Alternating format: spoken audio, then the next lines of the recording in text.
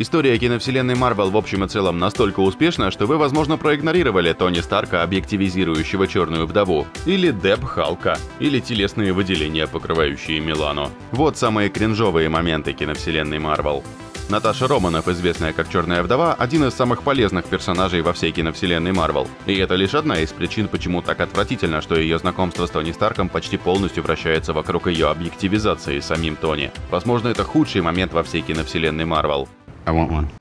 Помимо грубой, неприкрытой объективизации в этих словах, все усугубляется тем, что он говорит это своей возлюбленной Пеппер Потс. Сама Йоханссон признала свое участие в развитии сексуализации героев, рассказав об этом на пресс-конференции для «Черной вдовы» в 2019 году. Излишне говорить, что ее взгляд на персонажа сильно изменился за последнее десятилетие. Это не просто, потому что я вращаюсь в этом и, вероятно, во многом сама приложила к этому руку. Мне скоро исполнится 35 лет, я стала мамой, и моя жизнь сильно изменилась. Прошло уже 10 лет, многое произошло произошло, и теперь я вижу саму себя совсем другой. Это одна из основных причин, почему Йоханссон захотела вернуться в киновселенную Марвел в сольном фильме о Черной Вдове. Это возможность помочь изменить представление женщин-супергероинь в целом и Черную Вдову в частности. Сейчас все меняется. Теперь люди, молодые девушки, получают гораздо более позитивное послание. Очень здорово быть частью этих изменений и иметь возможность быть частью старой истории, и вместе с тем способствовать прогрессу.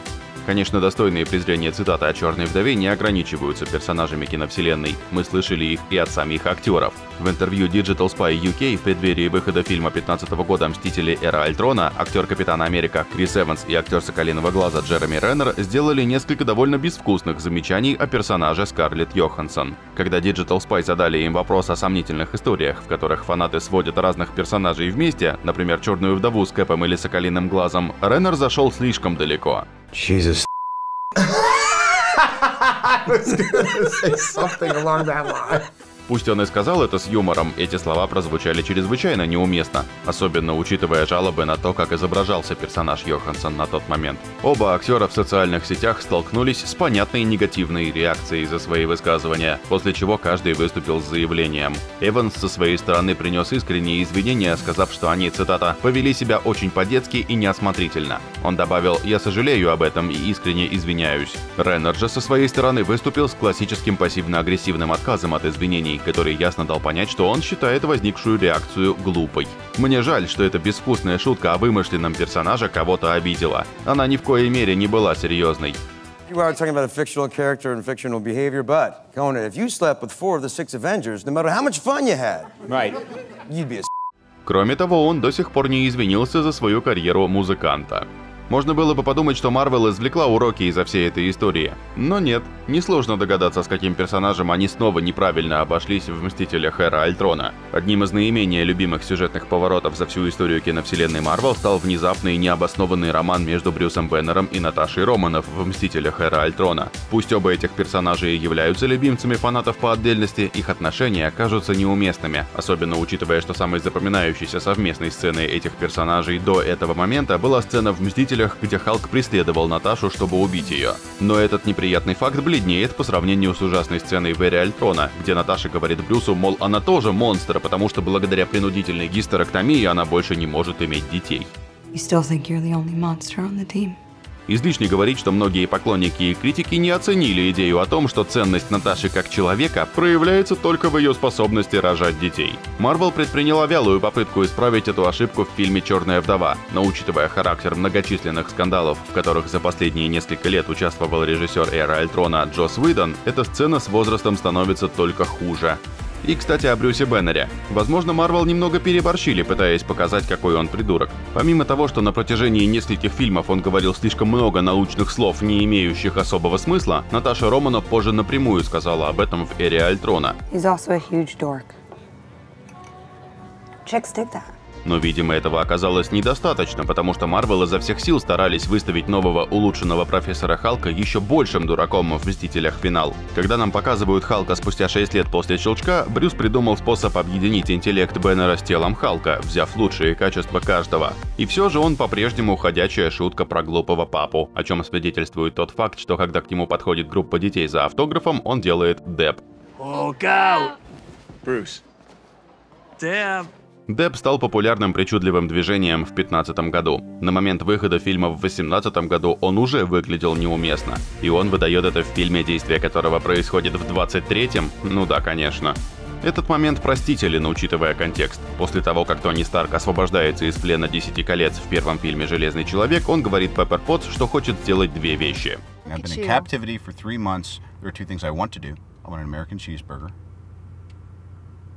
That's enough. Когда они приезжают на пресс-конференцию, водитель Тони, Хэппи Хоган, обходит машину, чтобы Тони мог достать еще один чизбургер из пакета Burger King. Серьезно? Он пережил плен, грозящий верной смертью, где собрал суперкостюм из запасных частей оружия, разработал план побега, выжил в пустыне и хочет добраться в Burger King перед встречей с прессой. Но главная причина, по которой эта сцена стала такой вызывающей, заключается в том, что это вопиющий пример продакт-плейсмента. Это был первый фильм киновселенной Марвел, и они, конечно же, нуждались во всей возможной поддержке, чтобы убедиться, что их первый фильм принесет прибыль. Но это был поступок уровня мира Уэйна. Contract or no, I will not bow to any sponsor.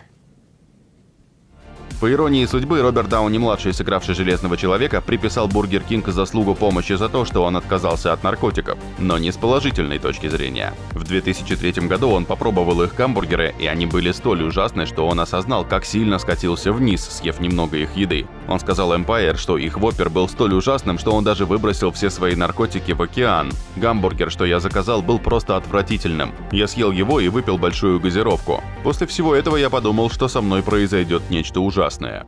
Джон Фавро, режиссер первых двух фильмов о Железном Человеке, решил не возвращаться в старое кресло в Железном Человеке 3, сценаристом и режиссером которого стал Шейн Блэк. Но изначально Фавро планировал лично снять Железного Человека 3, и он надеялся использовать в нем Мандарина, классического злодея Железного Человека из комиксов. Фавро ранее упоминал этого злодея в Железном Человеке в контексте организации 10 колец. Это был прямой намек на 10 магических колец злодея, которые давали ему силы. Но Блэк сделал все совсем иначе. Он использовал 10 колец и мандарина в качестве пыли в глаза. В «Железном человеке 3» террорист, известный как Мандарин, на самом деле оказывается британским актером по имени Тревор Слеттери, которого наняли, чтобы он сыграл роль террориста. Пока Тони Старк гонялся за своей же тенью, настоящий злодей Олдрич Киллиан действовал за кулисами. Многим фанатам это не понравилось. Марвел даже пришлось исправить этот косяк, выпустив короткометражку «Да здравствует король», словно давая обещание фанатам, что им нужно только подождать. Настоящий мандарин существует, так что сердиться нет нужды. В конце концов, это принесло свои плоды, и он появился в фильме «Шанчи и легенда Десяти колец», но на исправление этой ошибки потребовались годы.